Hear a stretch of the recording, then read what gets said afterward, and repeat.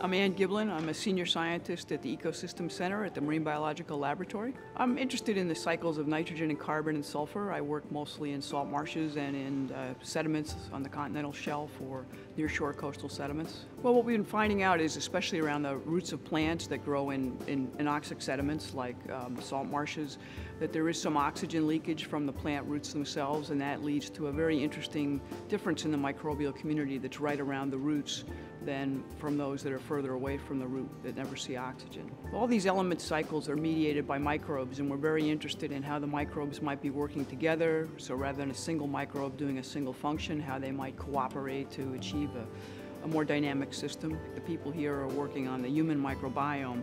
That's a whole system that we haven't thought about at all. And some of their discoveries are sort of informing some of our work.